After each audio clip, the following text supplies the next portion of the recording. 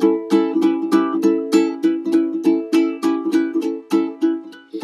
Cruise is so in love with Katie.